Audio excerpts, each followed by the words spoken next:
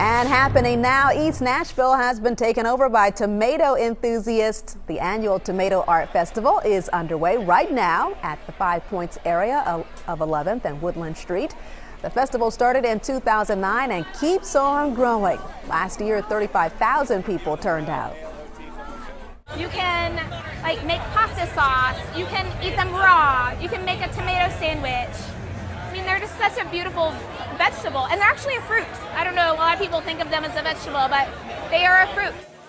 There's food, local crafts, and plenty of live music. It's scheduled to last until 9 o'clock tonight, so there's still time to check it out.